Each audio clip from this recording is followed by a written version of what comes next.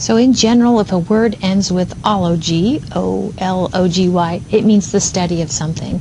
And meteorology is the study of the atmosphere.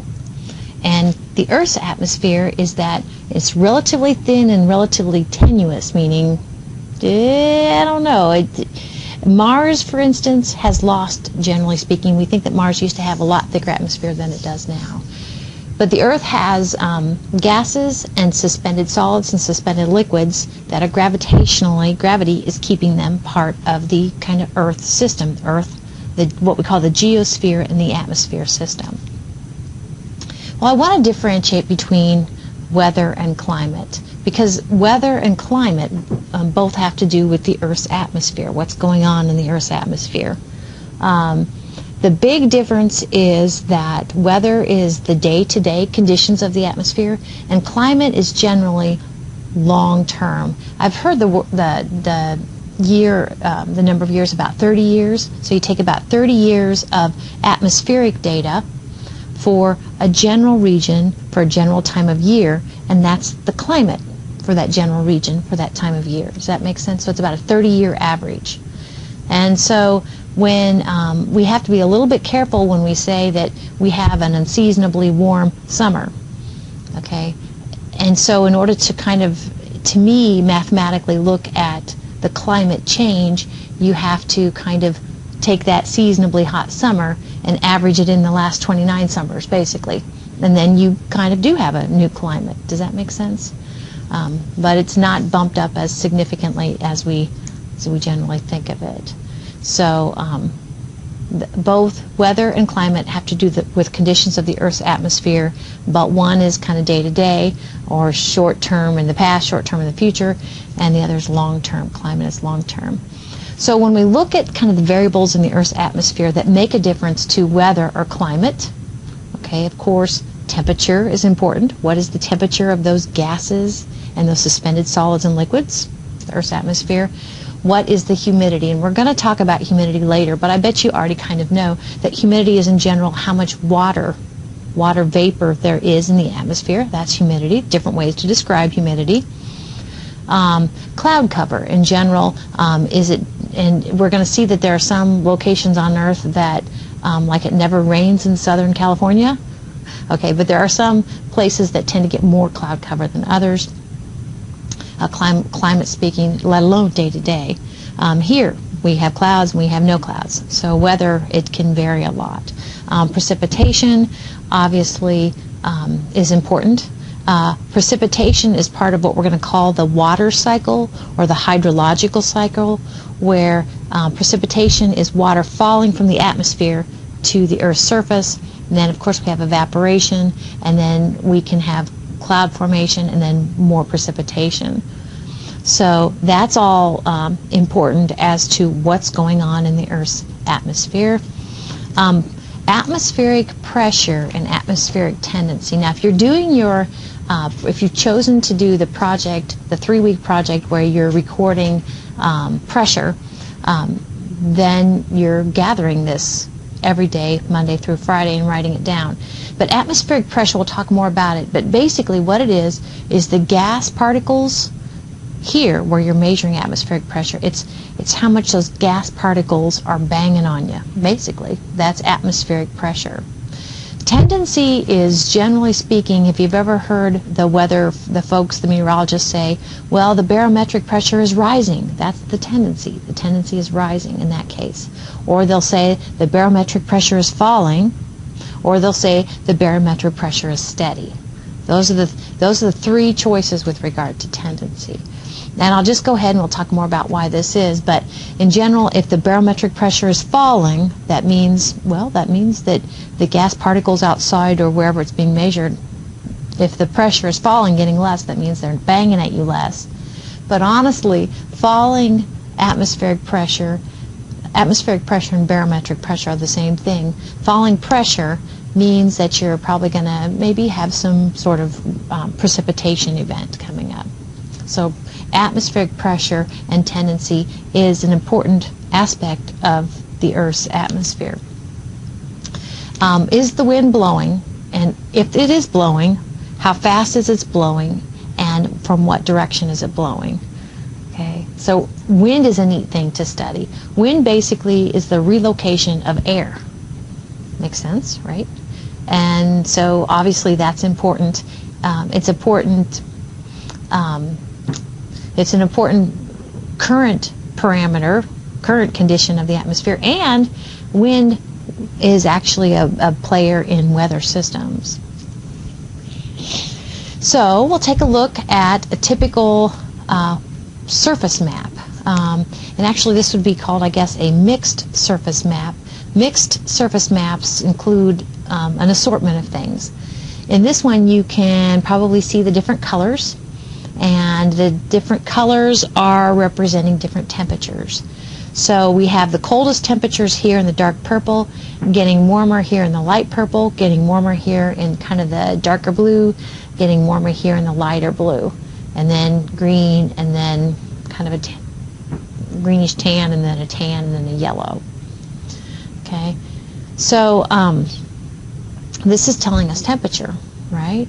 Um, here it's showing us, I assume these are snowflakes. This looks like um, maybe some sort of sleet here.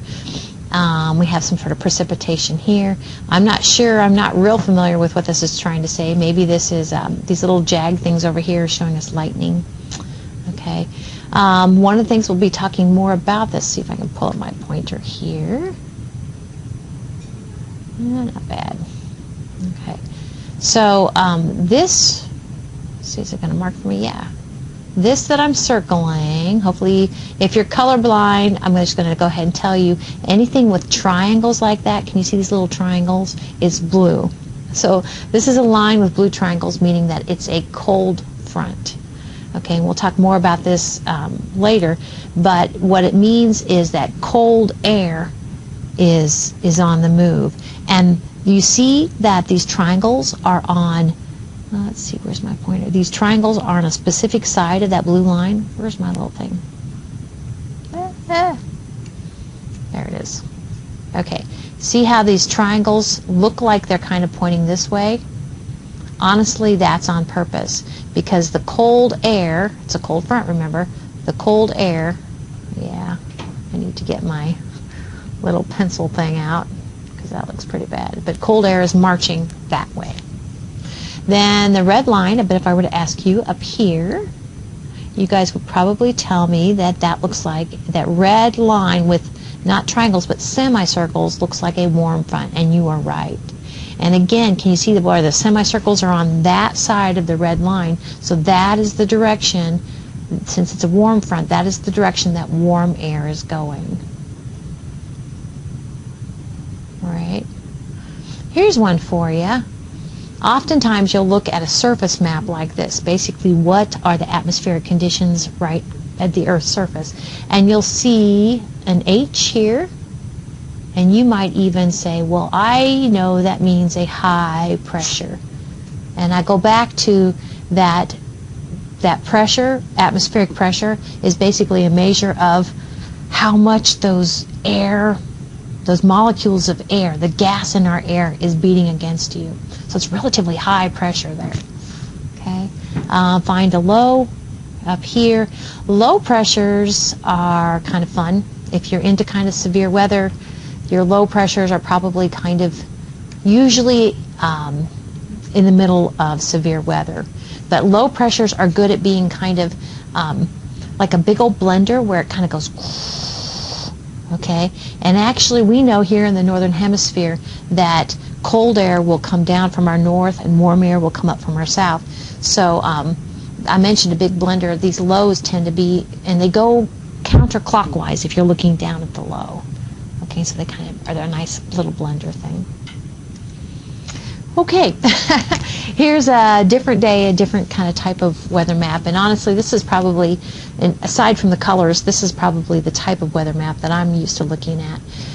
Now, instead of temperatures, we do see kind of some, um, we see some kind of lines that were kind of like our temperatures, but these are not showing um, where we have the same temperatures. These are showing where we have the same pressures.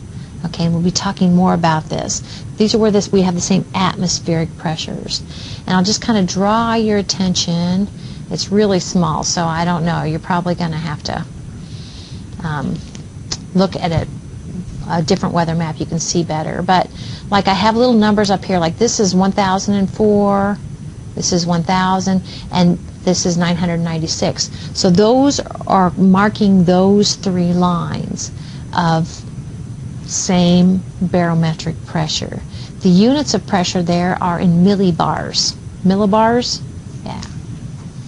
Um, here we have our uh, red line. Um, this is our cold front, excuse me, warm front. Our red line with semicircles, there's our warm front being dragged up by our low. And here's our uh, cold front being dragged down by our low. Okay?